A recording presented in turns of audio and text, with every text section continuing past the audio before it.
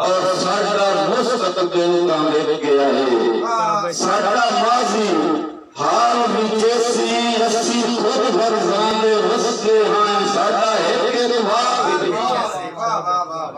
اور توجہ کرنی ہے۔ کہ روٹی دے نال نہیں لگ سکدے تھک پے غربا کھڑکا لچ تھک پے غربا کھڑکا لچ اور ساڈے حق دے بارے کون سوچیندا ہے؟ خاک شان دے وطن کنگال وچ کیوں جو پیا سیٹھ دا پہلا سنت وقتا ہے۔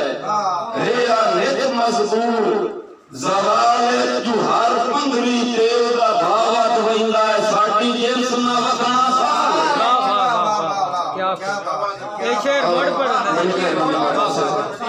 ایک شیر ورڈ پڑھ کہنا چوک متھے دا لکھیا سمجھی وقتا ہے۔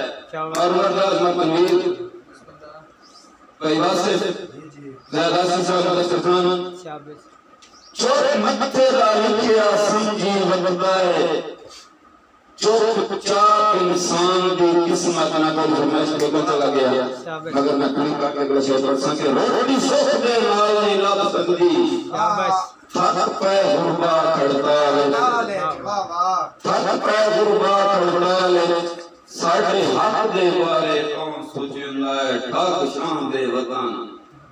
کنگالے کے پیا سیٹھ دا بیلا سنیت وقتا ہے۔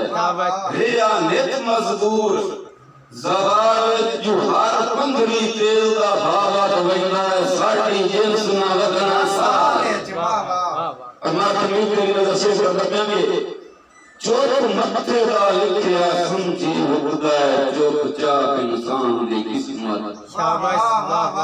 چوک مکتے دا لکھیا سمجھی وقتا ہے چوک چاک انسان دی قسمت۔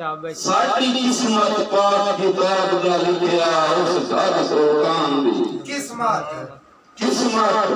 اس گھر سلطان دی قسمت کے دن دا روز بگاڑ لوگ پیتے مذکور کسان مذکور کسان دی قسمت بس پائے گیا مرغداران دے سارے پاکستان دی۔